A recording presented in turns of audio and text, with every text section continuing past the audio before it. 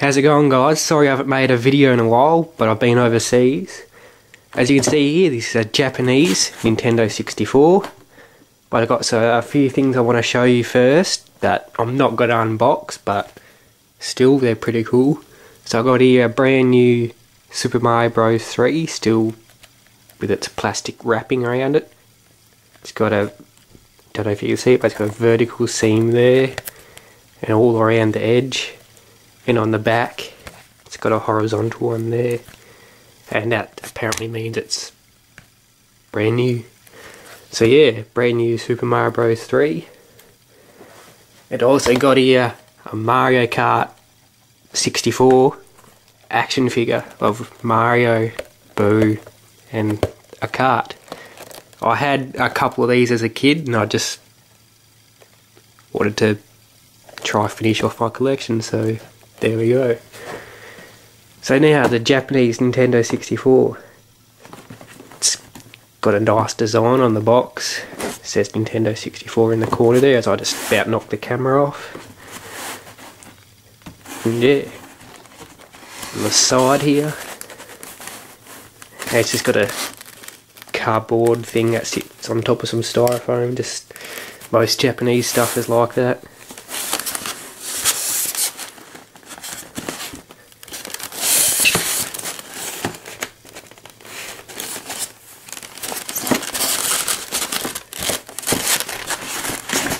Let's open it up.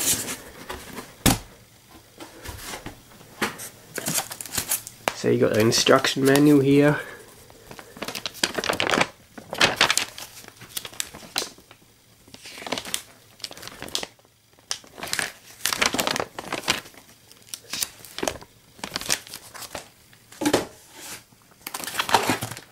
Got the power cord that goes in the back there.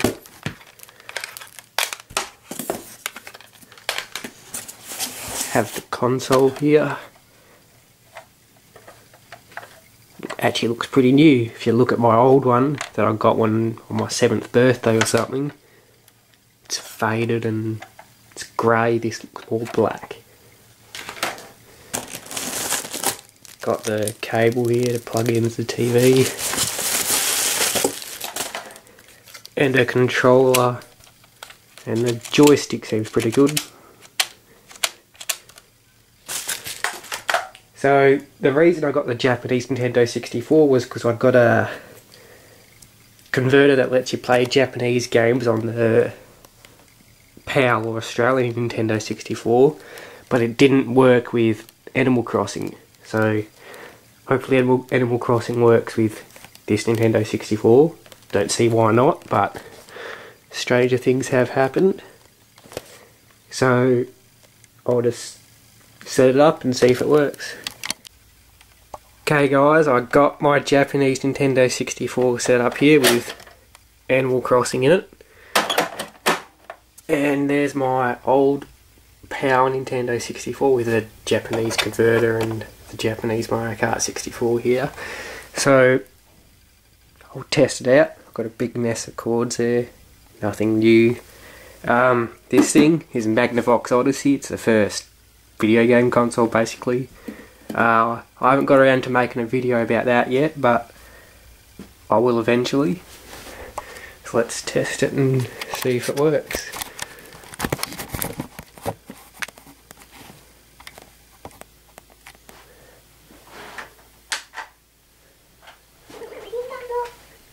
There we go, it works. Oh wait, hang on, I need to plug memory card in. I don't you need to turn it off. I'll just turn it off just in case.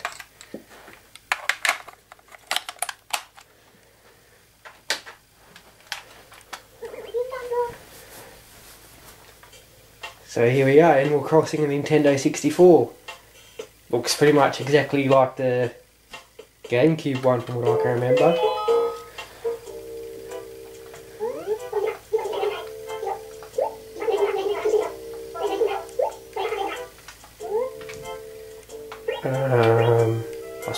top one. Top one again.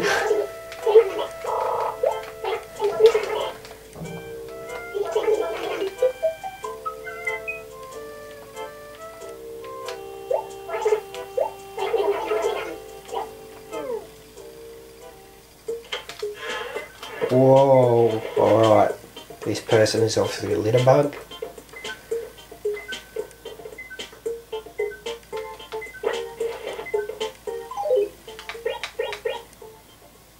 Okay, I have no idea what these furnitures are. That's Dax.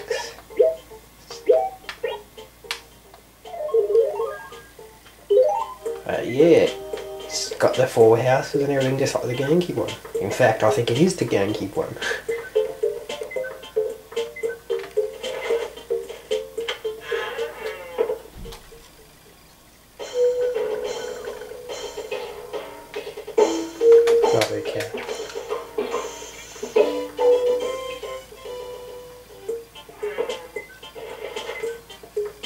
Let's check this house too.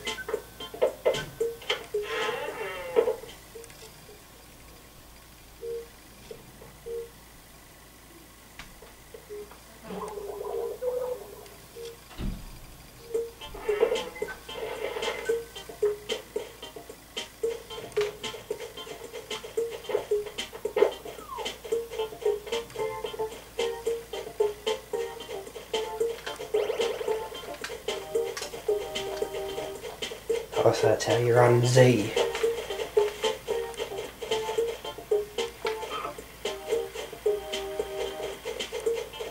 Just seeing if I can find anything that I haven't seen before.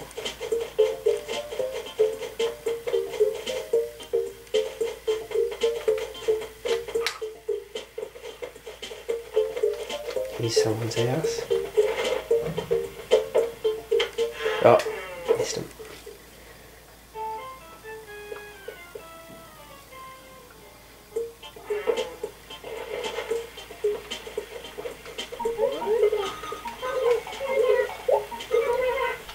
So yeah, it's Animal Crossing on Nintendo 64 and unboxing of a Japanese Nintendo 64. Thanks for watching, catch you later.